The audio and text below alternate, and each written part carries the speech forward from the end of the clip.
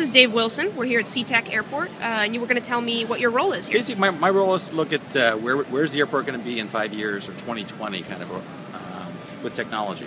We're driven by advances in innovation within tech, the tech community itself and the airlines, their technology, and what passenger expectations are. And we do live in a very tech savvy community with Microsoft and Amazon right next door. This is a ticket counter.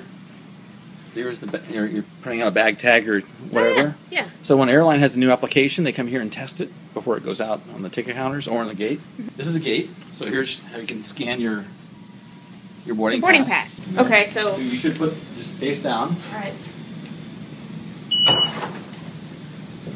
Cool. Done. And I'm on my way to the plane. And you want to, if you're really lucky, you do this,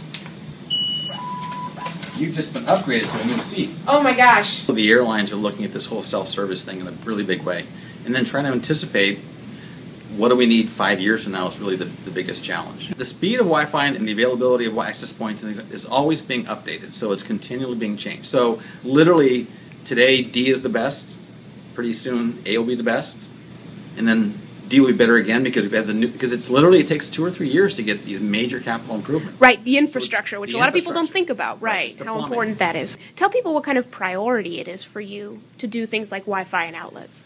Wi-Fi is probably my biggest one because the airline's really focusing on mobile devices Mm-hmm. and customers wanting to use mobile devices. So it's not just about the customer wanting to work. It's it's for the whole airport to work better. Wi-Fi is important. We're looking for the future. You're going to see wayfinding, where we're going to have in-building GPS as a result of Wi-Fi.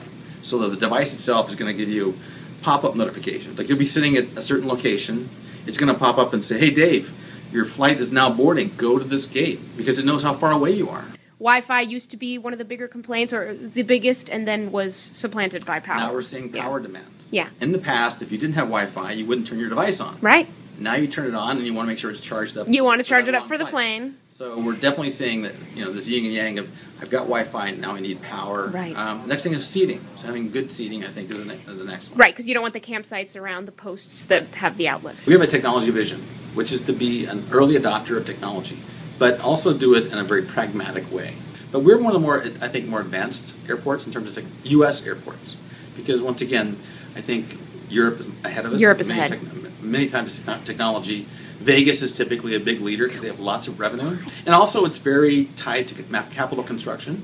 So you see an airport doing a major construction, major renovation of a, of a concourse. If you're going into the ceiling, put in new technology. Basically, you just kind of leapfrog based on construction. You know, these are really Yeah. big, multi-year projects in capital construction. Do you guys feel more pressure to be tech forward because it's Seattle?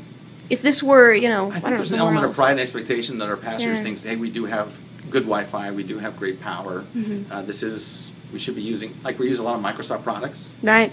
Um, the parking garage uses Windows servers Oh. and SQL Server and image processing. So, we use some very, so every airport has like well, we have 180 applications. Right. Some of them were really innovative. Some were kind of the same with everyone else. Um, and also, um, I go to this meeting in Portland called ACI Bit, and it's all the airport IT people, and we all get together and say who's doing what, and Mm-hmm. share ideas, and we have conference calls about um, like Vegas and Orlando have Wi-Fi in the ramp.